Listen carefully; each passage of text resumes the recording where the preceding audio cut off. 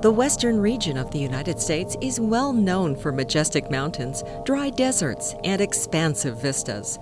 Geologic forces have been at work here for millions of years, and earthquakes play an important part in shaping the landscape into what we love about the West today. In this video, we will take a closer look at how earthquake activity impacts the Intermountain West region, particularly urban areas near the Wasatch Fault. Although most earthquakes occur near plate boundaries, there is an area of increased earthquake activity within the interior of the North American plate, known as the Intermountain Seismic Belt. The belt extends 800 miles from Montana to Nevada and Arizona. The Wasatch Fault lies within the Intermountain Seismic Belt and is in the transition zone between the relatively thin and extending crust of the Basin and Range Province to the west and the thicker, more stable crust of the Rocky Mountains and Colorado Plateau to the east.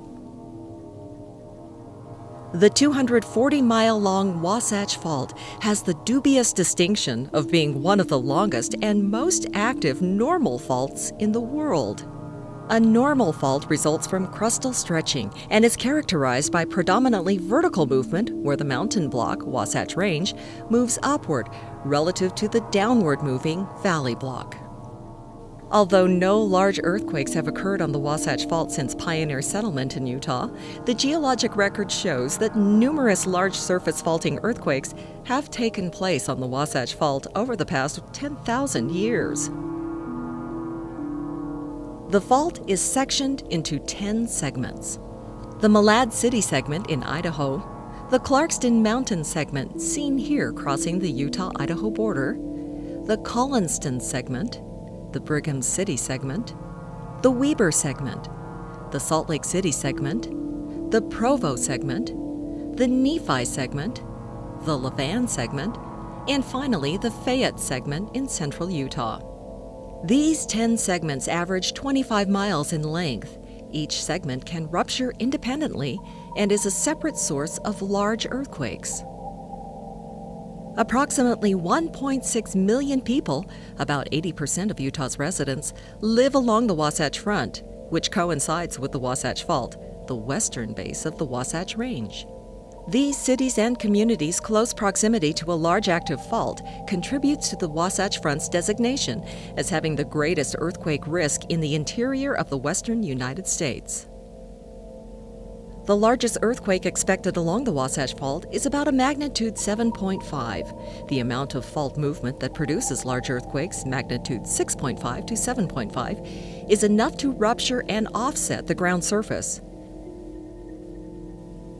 The five central segments of the Wasatch Fault present the greatest risk for people living along the Wasatch Front the Brigham City segment, the Weber segment, the Salt Lake City segment, Provo segment, and the Nephi segment.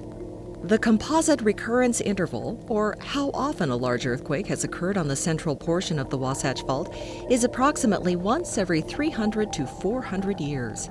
The two last large earthquakes happened about 500 years ago on the Weber and Nephi segments. This is why you may have heard earthquake experts or news reports say that the Wasatch Front is overdue for a large earthquake. For any individual segment of the central portion of the fault, the average recurrence interval is longer, about every 1200 to 2600 years. Let's continue our tour of the Salt Lake City segment, starting at the south end of the Salt Lake Valley. The southern extent of the Salt Lake City segment terminates at the Corner Canyon area near the city of Draper. As you follow the fault north, many signs of the past earthquake activity are visible to expert and novice alike. Typically, the fault is easily recognized as a steep, almost continuous escarpment along the base of the Wasatch Range. This escarpment, or fault scarp, forms when large earthquakes rupture and offset the ground surface. Prehistoric earthquakes on the Wasatch Fault have typically displaced the ground surface about 6 to 10 feet for 20 to 40 miles. Here at the mouth of Little Cottonwood Canyon, many earthquake features like scarps and grabens are visible. In May 2008, the G.K. Gilbert Geologic View Park was dedicated. This park at the intersection of Wasatch Boulevard and 9800 South highlights many of these features with interpretive signs and spectacular panoramic views. Multiple fault scarps cut across 16,000 to 18,000 year old glacial moraines at the mouths of Little Cottonwood and Bells Canyons. Lower Bells Canyon Reservoir, now drained, was situated on land lowered between two fault scarps. This low spot is called a graben. The fault scarps in this area are 100 to 130 feet high, indicating they were formed by as many as 7 to 10 large earthquakes in the past 18,000 years. Sand and gravel deposited as a delta into Lake Bonneville about 14,500 to 16,000 years ago by Little Cottonwood Creek are displaced by the Wasatch Fault. Now, a water filtration plant sits on this ancient delta. High fault scarps indicate several large earthquakes have taken place here over the past 14,500 to 16,000 years. The other arrows show the fault zone branching into three strands in subdivisions adjacent to the Wasatch Boulevard in Salt Lake County. Visible scarps are not continuous along the fault.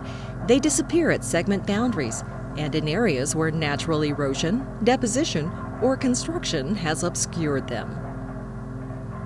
In most places, the Wasatch Fault is at the base of the mountains. In other areas, the fault extends away from the mountains, such as in the Holladay area, where Highland Drive parallels part of the fault.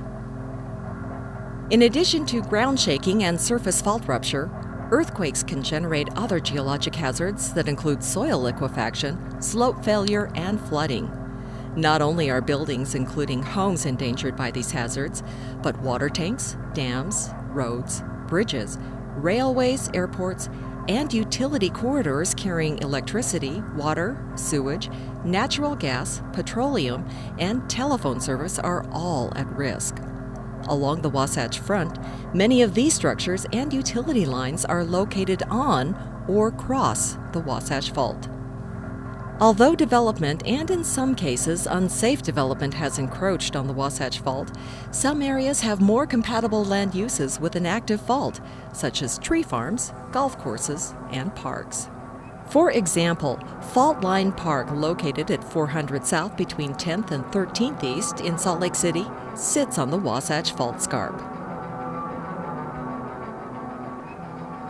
Because Utah has not experienced a large, damaging earthquake in the heavily urbanized Wasatch Front since the pioneers entered the area, many older, vulnerable buildings place people at risk.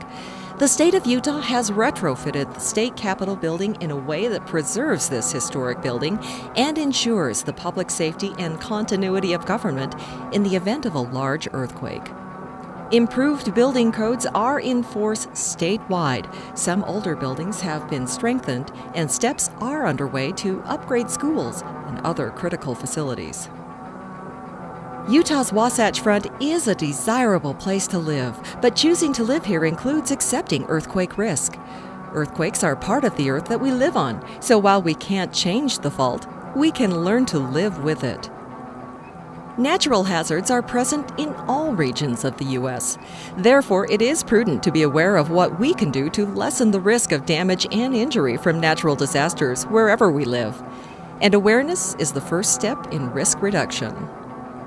For more information about earthquakes, how you can prepare for them and other geologic hazards in Utah, visit our website at geology.utah.gov or visit the Utah Department of Natural Resources bookstore to find other materials and information.